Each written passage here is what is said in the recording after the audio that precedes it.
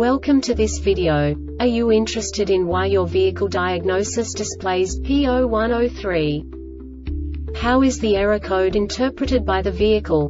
What does P0103 mean, or how to correct this fault? Today we will find answers to these questions together. Let's do this. First, let's look at the history of diagnostic fault code composition according to the OBD2 protocol, which is unified for all automakers since 2000.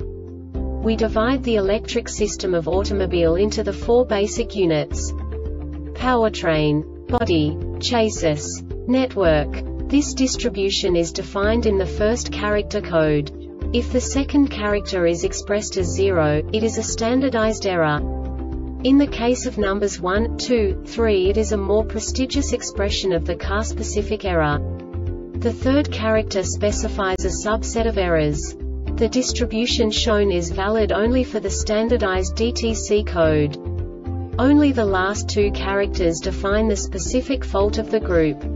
Let's not forget that such a division is valid only if the other character code is expressed by the number 0. Our website airbagreset.sk produces useful videos for you. You do not have to go through the OBD2 protocol anymore to know how to troubleshoot any car breakdown. You will find all the diagnostic codes that can be diagnosed in a Subaru vehicles. Also many other useful things. The following demonstration will help you look into the world of software for car control units. You unbelievably can move the video a bit further. The error code is split into two bytes consisting of 16 bits. One bit is the basic unit that each computer works with. The bit has two logical states.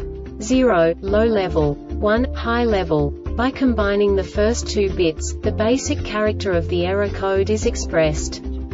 The next two beats again determine the second character. The last bit styles of the first byte define the third character of the code. The second byte is composed of a combination of 8 bits. The first 4 bits determine the fourth character of the code. And the combination of the last 4 bits defines the fifth character. A single byte conceals 256 possible combinations. We now know in what way the diagnostic tool translates the received information into a more comprehensible format. The number itself does not make sense to us if we cannot assign information about it to what it actually expresses. So, what does the diagnostic trouble code P0103 interpret specifically Subaru car manufacturers? The basic definition is left front or driver side impact sensor SIS performance. And now this is a short description of this DTC code. Ignition voltage is between 9 to 16 volts. This diagnostic error occurs most often in these cases.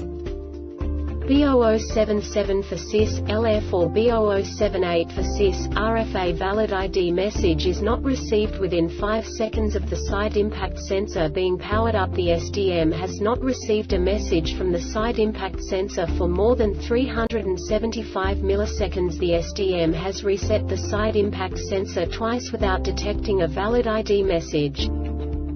The Airbag Reset website aims to provide information in 52 languages. Thank you for your attention and stay